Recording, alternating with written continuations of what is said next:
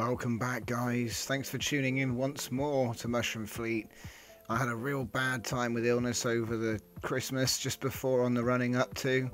Um, all that's back and gone now, which is great. We can get back to normal. It's January, so I hope you all had a great holiday and a good New Year's.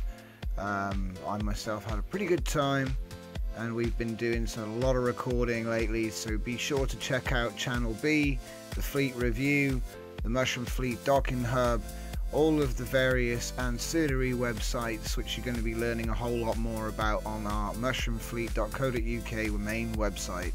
Look out for more information on G+, and as always, come play more StarMade. For more information on that, just visit the G+, or watch any of our videos on this YouTube channel. So yeah, thanks for watching.